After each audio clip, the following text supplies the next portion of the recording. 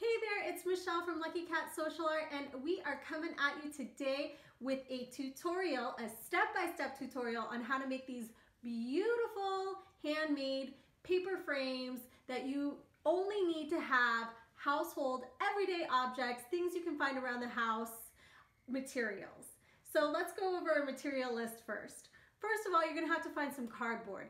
And really, if you have cardstock, that will work but it can be anything. This is a contact solution box, a box of cookies. We've cut some out of a Lucky Charms box and some Dino Nuggets. Really, it doesn't matter. You just need some kind of stiff, thicker than paper cardboard. You'll also need some paper, and really, again, you can use whatever you have around the house. Here, my lovely assistant has some construction paper. If you've got that, that'll work and you can use some markers to decorate it. What else can we use, assistant? We can use a calendar, a used calendar, and you don't need it anymore. But today we have some this. beautiful decorative scrapbook paper. So we happen to have some scrapbook paper lying around, so that's what we're gonna use to cover up our cardboard. Really, again, it doesn't matter. You just need it to cover the cardboard. Here are a list of our other supplies. Assistant. So we need a sharp pencil, scissors. It doesn't really matter. So you could have a glue stick, some just regular Elmer's glue, or some tape.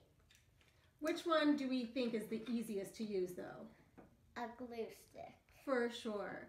Then you're also gonna need some kind of stuffing to put into the frame of your paper. We know paper towels are hard to come by, but if you have a paper towel to spare, you'll probably only need just one little sheet like this. Or if you don't have any paper towel, something else you can use is this newspaper or sales bill that comes in the mail once a week. You can use even something like that. So we're gonna show you how to take all of these materials and make this. Stay tuned, give us a thumbs up, subscribe, and have fun making your handmade paper frame.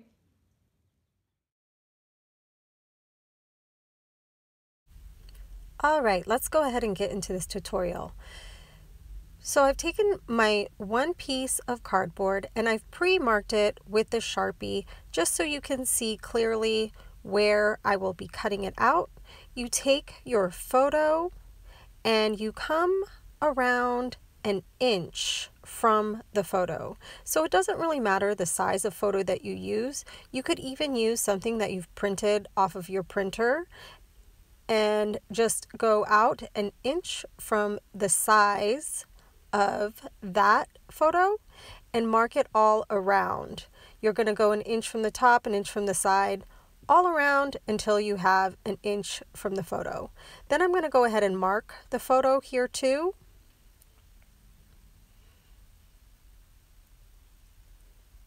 And then I'll go ahead and cut it out.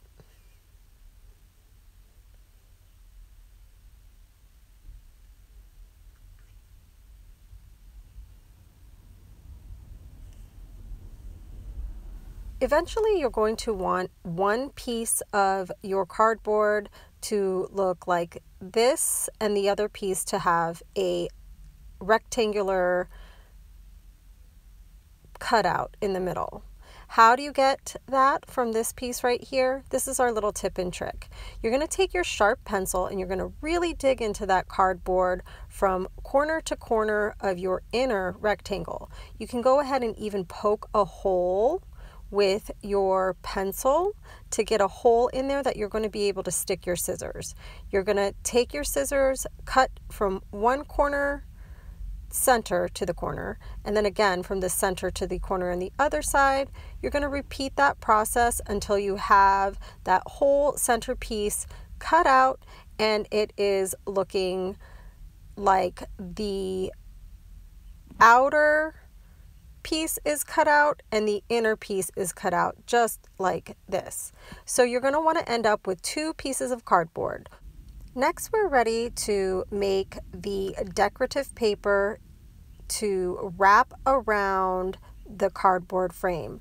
So again, I'm going to go out an inch from the size of my cardboard, come around the sides, the tops, bottom, and the other side. We're going to go ahead and mark that and then we will cut it out once again. You're going to want to also make sure that you have the middle section marked. We did this on the nice side of the paper. To avoid having pencil marks, I suggest using the other side or the blank side of the paper. Just a little thing we learned along the way that makes it look nicer and neater. Remember, go ahead and mark the inside, and then we're going to use our same method of using that X to be able to cut out a nice, clean looking rectangle in the middle. Let's go ahead and demo how to create that nice, neat inner rectangle. I made a hole here in the corner, but really you just need to make a hole in the center with your sharp pencil. You're going to go ahead and stick your scissors in there and you're going to cut from center to corner, center to corner, center to corner, and one last time center to corner. You're going to want to leave those triangles intact because they're going to wrap around the cardboard frame and finish it off really nicely. Now we're going to go ahead and show you how to cover the back part of the frame with our piece of cardboard that does not have the hole in the rectangular. We're going to go through the same process. We're just going to take the cardboard and measure about an inch around all the sides, top and bottom. We'll mark that and then we'll go ahead and cut it out. We're going to go ahead and take that decorative paper that we've cut out and we are going to fold it around our cardboard to give it nice crisp lines. I'm just kind of holding it taut and folding it at the same time. And then we will go ahead and do that on all four sides we can go ahead and take that cardboard out and we're going to go ahead and put some glue on the back of this cardboard. We're going to use our glue stick and we will go from corner to corner with that glue stick.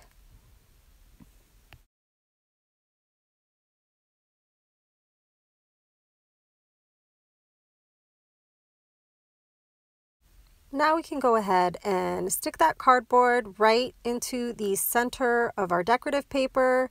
Give it a good press. Make sure that glue is adhered to the paper and we are ready for our next step. We're going to go ahead and put some glue on the cardboard and we are going to go ahead and fold over that decorative paper on top of the glue stick. Give it a good press, make sure that it's adhered. We'll do that to all four sides until we have glue on all four sides.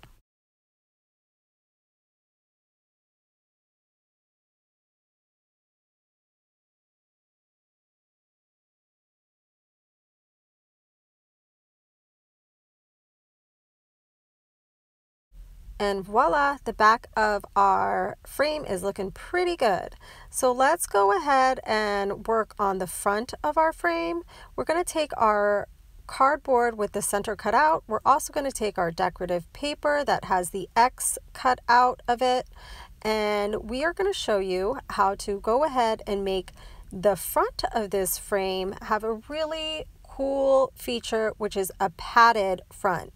So you can use your paper towel or you can use the insert uh, newspaper and we're to put that in between the cardboard and the paper. So let's go ahead and mark the inside of the frame and the outside of the frame. Like I said, we should have done this step earlier, but that's okay. It's not too late to fix it we're going to put that padding right around the frame right here. So we've decided to use the newspaper insert.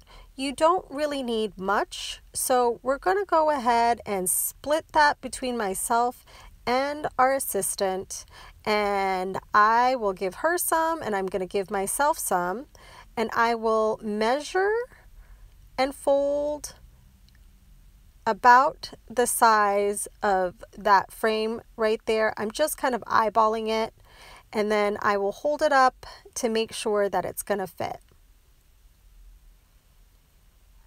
Looks like we need just a bit cut off. My assistant's going to cut off a little bit for us here. Whoops, we just need a little bit more cut off. There you go. So we'll repeat this process. We'll go ahead and fold that paper and measure it all along each of the sides.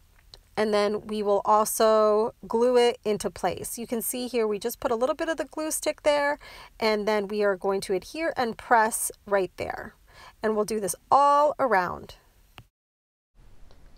Now that we have our padding in place, we are going to take our cardboard frame, apply some of the glue stick generously all around the cardboard frame. We're going to flip it over and then we are going to make sure that it is adhered to the padding by giving it a nice good press.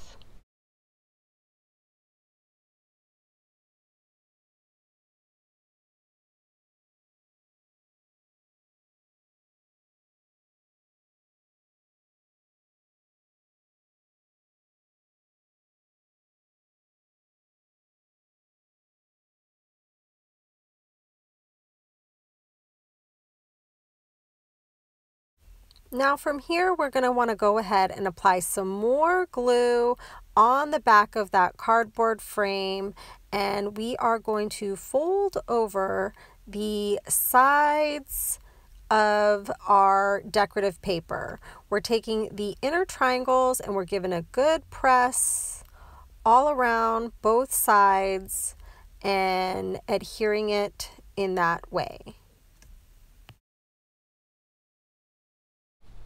Let's go ahead and trim off the excess on these triangles here. We just want some clean folds. So I'm going to go around and trim off the excess. I also, in each of the corners, made a diagonal cut, again, to get a clean nice fold. We're going to adhere some glue to every single side of the cardboard. Uh-oh, it looks like we are almost out of glue. But guess what? Here's a little trick. Dig your scissors into that glue stick and pop that glue stick out because there's a lot of glue still in there. You can use your scissors, use your finger to spread that out, but we are going to get every last little chunk out of there that we can. Let's get that on all of the exposed cardboard and then we are going to go ahead and fold it over nice and neat once again.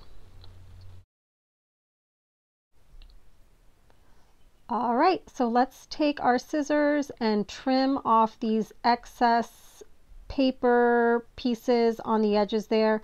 If you've got any parts that are not sticking, dig a little bit of more glue out of your glue stick and give it a good press. We want to make sure that those edges are nice and neat and secure. So just go around, trim off the excess, and stick a little bit of glue in there if you need to.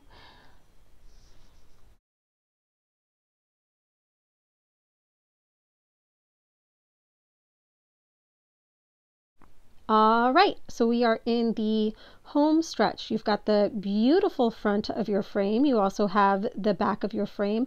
And now we just have to adhere the front to the back. Keep in mind that you're going to have to slip a photo in. So you're going to want to leave space on the side or the top, depending on the orientation of the photo that you decide to use. But you do want to secure the other sides with your glue. And there you go. You've got a handmade paper frame. We have an optional step here of adding a stand in the back. To do that, all you have to do is take a piece of your cardboard, take a little bit of your decorative paper, and cover that up and then adhere it with a glue stick on the back, depending on the orientation of your photo, either vertically or horizontally. Well, there you go. We hope you have so much fun making these handmade paper frames. We love these because they're customizable and they're beautiful. Thank you so much for watching. Please subscribe and have a great day.